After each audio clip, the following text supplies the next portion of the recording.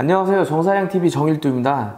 오늘은 돈만 가지고 외식업 창업하지 말아란 주제로 이야기해 볼까 합니다. 이 문제의 가장 중요한 것은 자신의 현재 상태입니다. 내가 창업 비용으로 총 얼마를 가지고 있는지 그리고 내가 어디서 일하고 직원들은 어떻게 관리해야 하는지도 말이죠. 정말 자신의 현재 상태부터 점검을 해보고 창업을 해야지 본사만 믿거나 지인을 믿거나 인테리어 업자를 믿거나 외식업 컨설턴트를 믿고 하는 그런 실수는 절대 범하지 마시길 바랍니다. 저도 얼마 전 저희 이자카야 브랜드 가맹을 문의하러 온 부부 고객님과 미팅이 있었습니다. 그분들은 퇴직 퇴 직금과 적금을 깨고 이제 막 사업을 준비하던 30대 중반의 부부였습니다. 약 1억 5천이 있어서 장사를 하려고 한다 그러는데 이 부분에서 창업 컨설터들에게 내가 돈을 얼마 가지고 준비하고 있다 그런 이야기는 먼저 안 하는 게 좋습니다. 솔직히 이야기 드리면 대부분의 프랜차이즈 컨설턴트들은 그 비용을 전부 소진시켜서 오픈을 시키려고 할 겁니다. 1억 5천이다 말하면 어떻게든 돈이 더 들어가면 들어갔지 1억 5천 이하가 들어가진 않습니다. 물론 그게 잘못된 건 절대 아닙니다. 매장이 성공할 확률을 높이기 위해서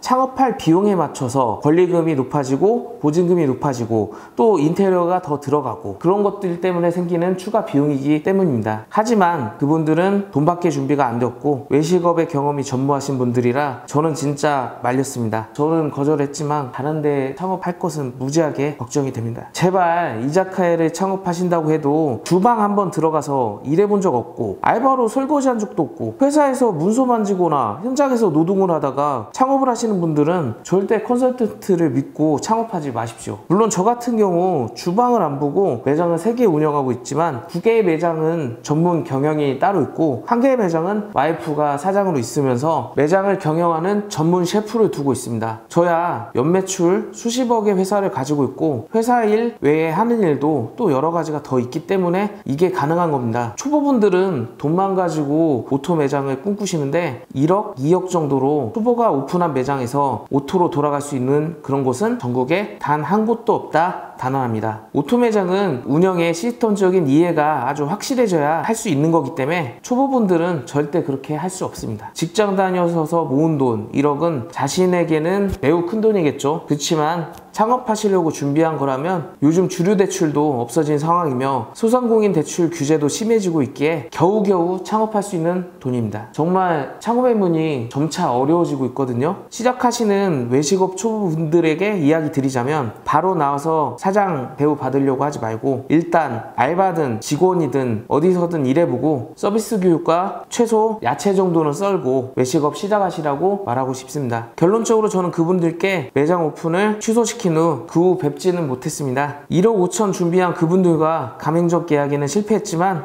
저는 왠지 잘 말렸다는 생각입니다. 저희 브랜드에서는 맞지 않던 분들이었지만 앞으로 좋은 브랜드를 찾아서 건승하시길 기원하겠습니다.